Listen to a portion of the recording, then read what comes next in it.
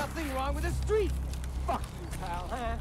You're not gonna hold us hostage here with these yellow lights and all these big trucks. I'm just here to, to keep people from falling in, that's all. I want to hear it from you. What's wrong with the street? I don't know. I really don't know. You're lying. What's wrong with the street?